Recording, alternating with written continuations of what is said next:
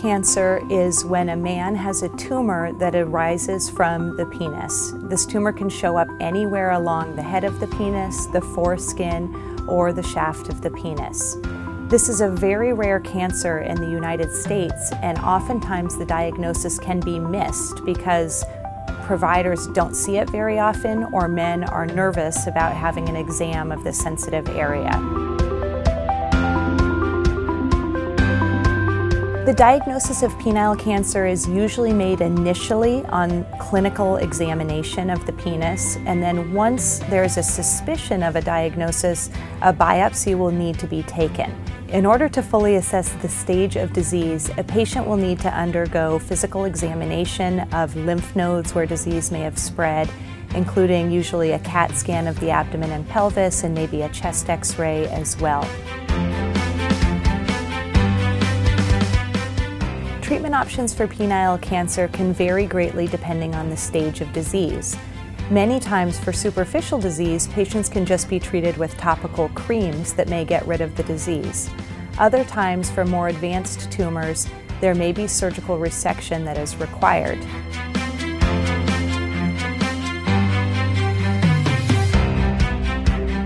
Often penile cancer spreads to the groin lymph nodes, and while surgery can be performed, we know that this is a danger sign that those cancer cells are about to move into the pelvis and from there beyond. And so we try to get ahead of the cancer by giving chemotherapy to get rid of the cancer that we see and what we don't see so that once the surgery is done, then we know that patients will have a better chance of staying cancer-free. The chemotherapy regimen that we use consists of ifosfamide, paclitaxel, and cisplatin. We're able to hospitalize our patients to get them through this treatment with minimal adverse reaction. We also have collaborations ongoing with several other cancer centers who see this rare disease and are testing some very new and exciting treatments for patients in whom the standard chemotherapy doesn't work.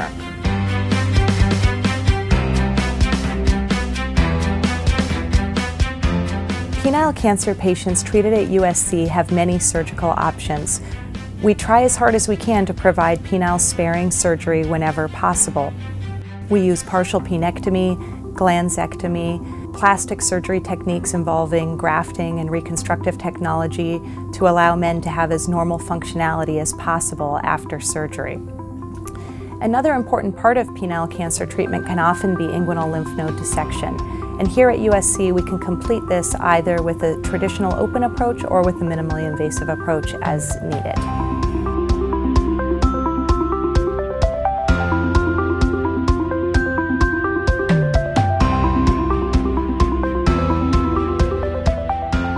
Here at USC, we can offer this uh, inguinal lymph node dissection endoscopically without the need to open the patient to excise all these lymph nodes. We can see in this uh, 3D animation video how we, uh, we perform this surgery and how we create this space and how we go behind the skin and how we navigate in that area and then how we dissect and how we extract all that lymph nodes. We put everything in a bag and then we extend one of the incisions and we remove that bag and then we just close at three incisions of one centimeter. The same patients that are candidates for open surgery are candidates for uh, robotic uh, endoscopic uh, groin dissection. And it's very important that uh, we can do it uh, robotically um, without the need to open.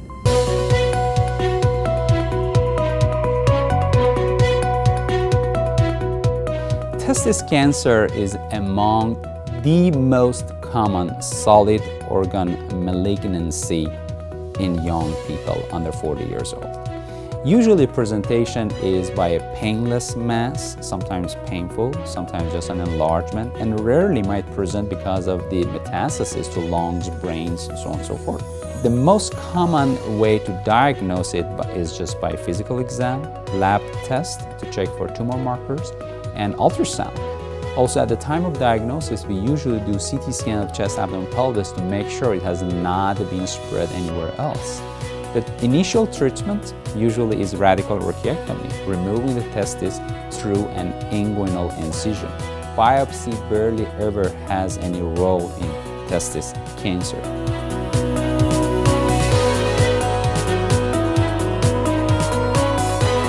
About 70% of testis cancers present as clinical stage 1. They are only in the testis. There has been no spread anywhere else.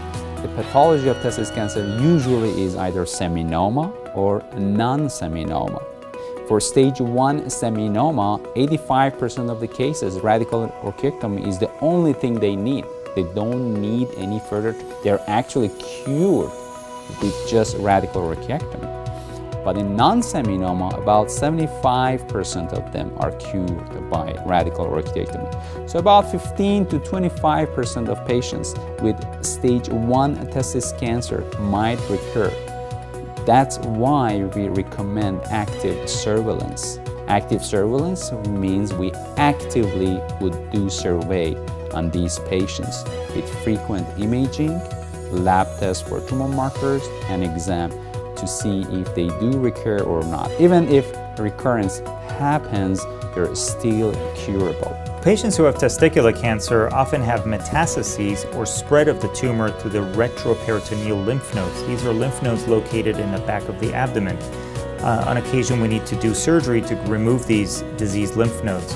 One of the techniques we use here at USC is called a uh, retroperitoneal lymph node dissection.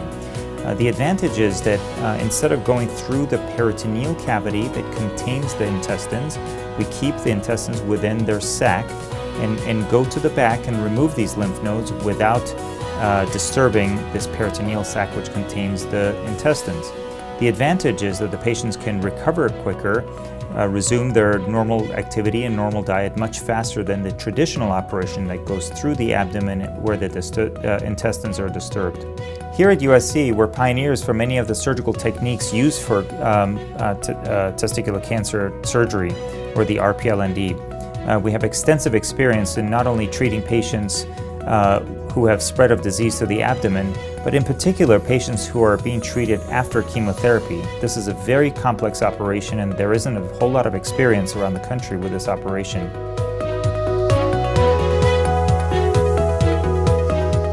Since it's a rare and complex procedure, uh, there aren't too many centers or institutions around the country with extensive experience. We're considered one of the highest volume centers on the West Coast for treatment of this disease.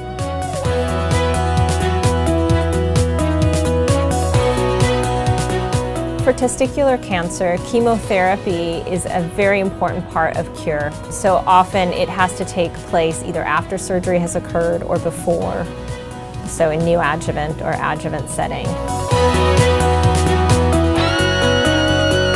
Chemotherapy for testicular cancer consists of three drugs, bleomycin, etoposide, and cisplatin. We can do the treatment either on an inpatient or an outpatient basis depending what is most convenient for our patients. Uh, we know that young patients have particular needs. They have young families or they're in school or they're working.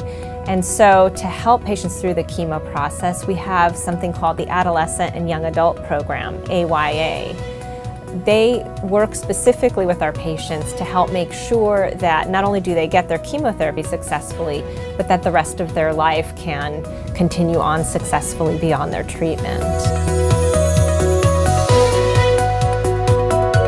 Our testicular cancer patients get beyond exceptional medicine because we care for the whole person through our adolescent young adult AYA program to make sure that aspects of the life such as fertility and school and work are managed just as rigorously as uh, avoiding side effects of chemotherapy and preserving long-term health.